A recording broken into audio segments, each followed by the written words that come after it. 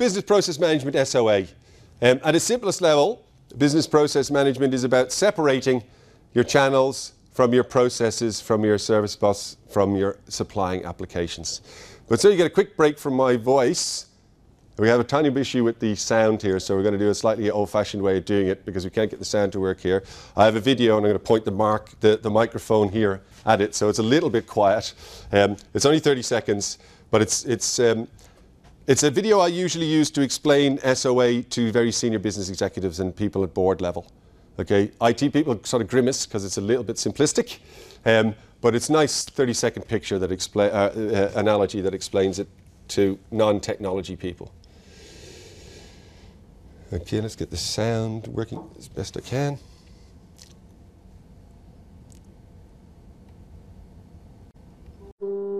Innovation is defined as the process of making change in order to do something new.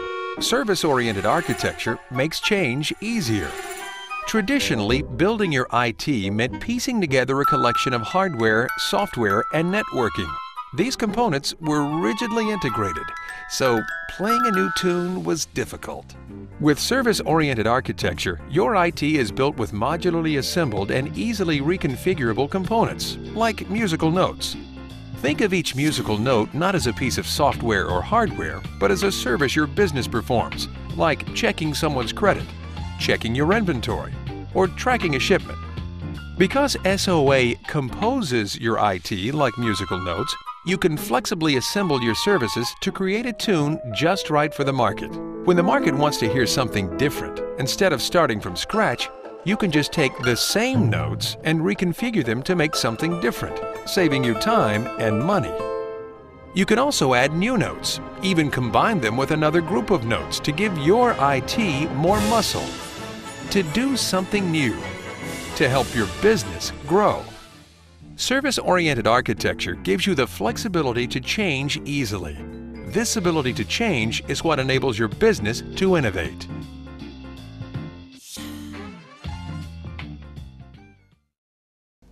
That worked better than I thought it would. That's good. Step back again. Excuse me, just drink of water. Um, okay, so it's a little bit simplistic. okay, certainly from IT perspective, people sort of grimace go, oh, what? Uh, and I do always follow it by actually making that explanation to the exec, saying, look, this makes it look the end game, end game, but getting there is, is the difficulty.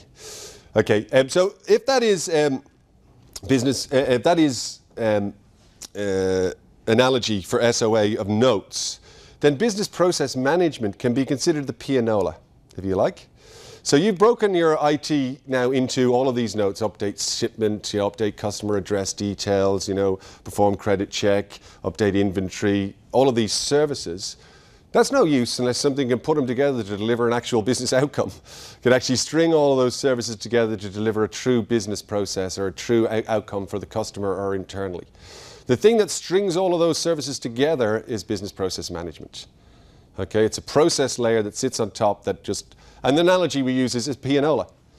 You know, you've got all these notes, and then for the technical people, BPMN or business process modeling notation or BPEL, business process execution language, is the sheet feeder that feeds into the business process management tool, the BPMN, to actually play these notes. I often get asked the very simple question of how do you manage to get executives to put money on the table for SOA? Because we, we, we usually do. We don't, you know, very, very infrequently have not got the, the business people to put money on the table, and it's usually an issue in IT organizations. And so I've been asked, how do you sell SOA to the business? Never. You sell in business process management, and by the way, it sells itself. Okay, you never sell SOA. It means nothing to them. It's an IT thing. Okay, but if you, they all want business process management. Business process management gives a real-time visibility to the processes executing in their organization. Automatic alerting of SLAs that are not being met.